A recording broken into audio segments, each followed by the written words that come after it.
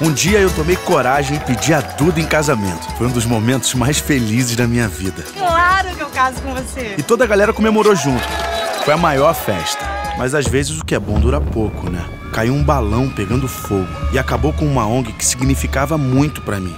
Se coisa boa gera coisa boa, não dá para entender como isso foi acontecer justamente com aquelas pessoas.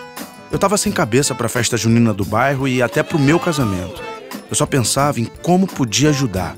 E quando eu achei que as coisas não podiam piorar. É o seguinte, Guto, eu acho que a gente não deve mais casar.